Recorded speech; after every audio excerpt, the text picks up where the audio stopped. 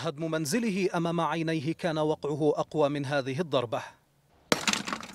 تناثرت حجارة البيت ولم يعد حجر على حجر. كان الهدم دون سابق إنذار لإحدى عشرة منشأة في خربة أم الخير بمسافر يطا جنوب الخليل. أصبحت عائلة ياسر في العراء. يخرج الرجل من بيت آخر بلا سقف ليجد أمامه طاقة شمسية مدمرة. كيف بدنا نعاود نرجع مساكننا كيف؟ يعني كيف؟ وما نفع هذا الباب بعد الدمار.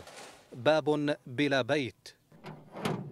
أم حجارة بيت متناثرة بجوارها الباب على الأرض؟ لم يعد هذا مهما بالنسبة لرجل فقد كل شيء بلمح البصر. حسبي الله ونعم الوكيل عليهم. حسبي الله ونعم الوكيل عليهم. هنا يا عمي والله رحنا ذبحونا. هاي هدوا على كل شيء. هاي الخزاين. هذه الخزاني كيف بدي اطولها راحت. هاي العفش هون. هاي العفش. هاي العفش هاي ال... هاي. كيف بدنا نطولهم هذول؟ كيف بدنا نطولهم هذول؟ بدي العب معكم لعبوني خلينا خلف الشر محمد وسليمان وإسماعيل استعانوا بحجارة صغيرة من مخلفات ما تركته جرافات الاحتلال.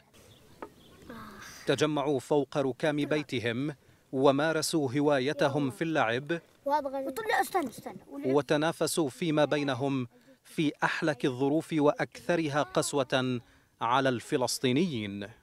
هدوا دارنا وقاعدين على الركام. هي عيش صعب لدرجة هائلة. طيب شو بتعمل على الركام هلا؟ نلعب. نلعب. لأن ما في مكان الشوب و...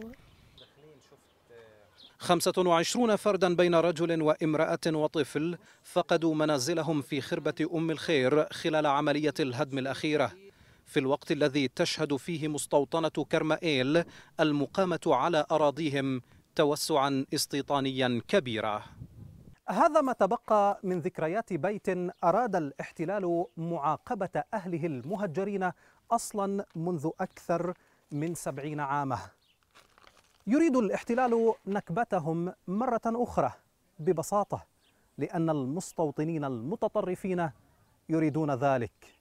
رائد الشريف الغد من خربة أم الخير جنوب الخليل فلسطين.